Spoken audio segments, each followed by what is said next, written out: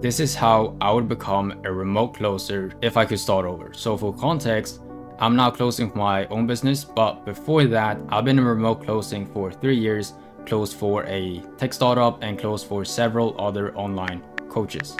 I discovered remote closing six months after finishing high school. At that time, I wasn't sure if I wanted to get a degree, go to the military, or go work at a local supermarket, right? The casual three. But I finally listened to Gary Vee telling me through one of his Instagram reels that I had nothing to lose. Someone in their early 20s almost risk nothing. We have almost no risks, no responsibilities. So I did what any crazy person would, bet on myself and do my own thing. Eventually, I failed one of my first businesses, but I found my next skill, and that was remote closing. I'm here to tell you that you don't need to go through the struggles that I went through. You don't need to fail a business to start remote closing. You can start it now. I was fresh out of high school when I got my first setting role and later promoted to closer, making $7,000 a month without any previous experience. And if I can do that, then so can you. So for the easiest possible start, and this is what I would do, is to find a role that allows for high volume, meaning you need to find an online business that gives you an endless amount of leads to call or sales calls to close depending on if you are a setter or if you are a closer. And the roles that you know have high volume are often low entry roles, meaning you don't need tons of experience to get hired. The only thing you really need is commitment to do well and humble enough to learn. The reason uh, it is low entry to begin with is because the price the, price of the product is between $2,000 and $5,000.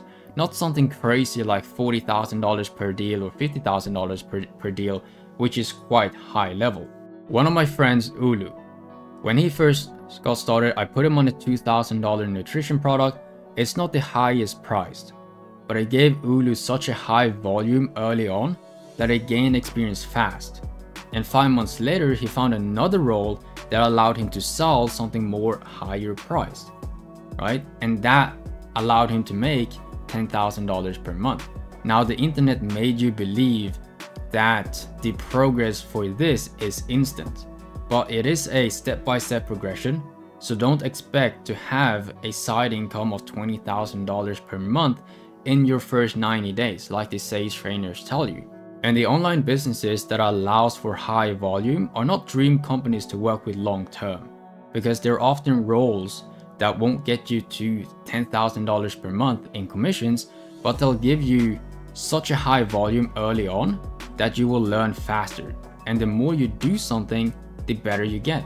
So if you value mastering the skill about making money in at the beginning of your career, if you value you know gaining experience faster if you value putting in six months of hard work, but you know that after this these six months, everything else will get so much easier, then this might be the, the uh, possibility for you. But just know that it probably is gonna suck the first six months, but after six months, you are going to absolutely thrive.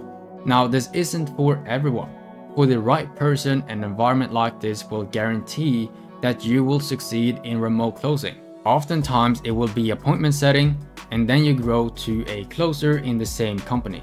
And the way I promoted to closer from appointment setter was that I booked so many appointments my closers could not handle. They had too many fucking sales calls that I had to schedule people weeks ahead. A week ahead, two weeks ahead. And when people are scheduled two weeks ahead, it happens that they forget about the meeting. Right? So people just didn't show up. So when it came time to finally increase the closer team, I was first in line, and they hired two new setters to replace me. This is how I promoted from appointment setter to closer.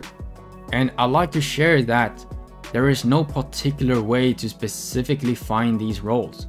It is something you need to filter by looking at the information given by the company, given by the recruiter, and given by the job post. One way you can just get an idea, right? Get a clue is to compare the total company revenue and the product cost.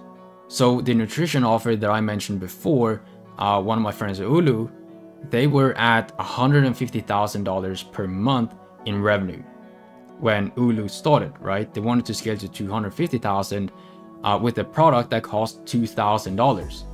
So if you do the math, right, on current earnings that they have within the company, 150,000 revenue divided by 2,000.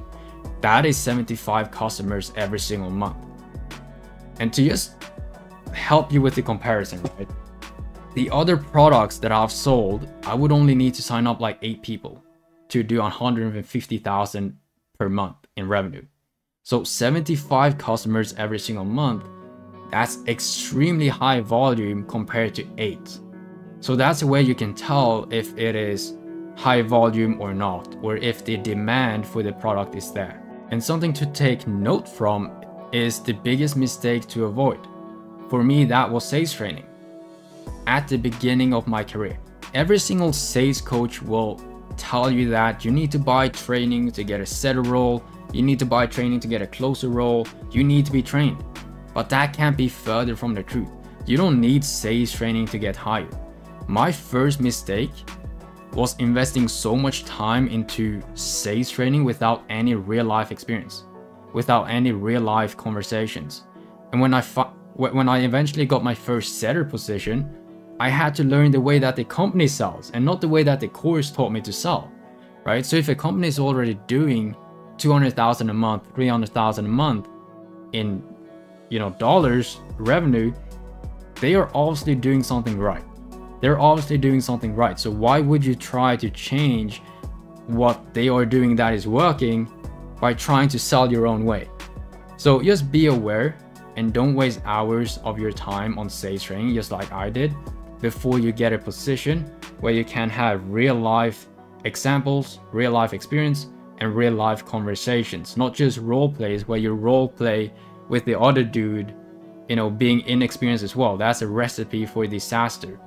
Now, if you want to find these companies, I've put together a completely free remote sales guide here on YouTube with over 90 minutes of content showing everything that you need to land a high volume sales position. So check that video out where I'll show you what you'll learn, how it works, uh, how to use the information to make remote closing your full-time career.